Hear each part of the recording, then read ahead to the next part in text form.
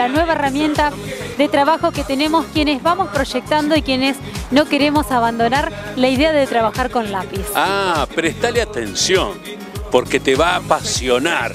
Vas a querer tenerla ya. Fíjate bien.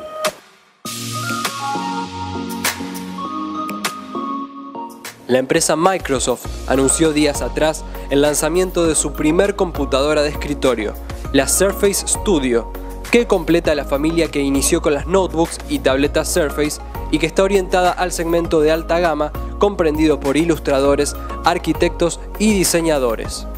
En el caso de la Surface Studio, se trata de un dispositivo todo en uno, con una pantalla táctil LCD de 28 pulgadas de muy alta resolución y 12,5 milímetros de grosor, siendo, según la compañía, el más delgado hasta el momento. La pantalla de este equipo está sostenida por dos brazos móviles, por lo que se puede cambiar su altura y orientación, lo que a su vez permite incluso que se use como tablet, por ejemplo, para dibujar, escribir a mano alzada, entre otras tareas. Además, el equipo da soporte a los lápices que ya venden otros modelos, viniendo con uno incluido, además del mouse, teclados y un dial. Este nuevo accesorio, llamado Surface Dial, se adhiere a la pantalla y permite interactuar con las aplicaciones para graduar algún elemento, como por ejemplo cambiar los pinceles que se están usando en pantalla. El equipo se completa con un procesador Intel de sexta generación y hasta 2 terabytes de almacenamiento interno. El modelo más económico tiene un precio de 3.000 dólares, mientras que uno superior tendrá un precio de 4.200 dólares.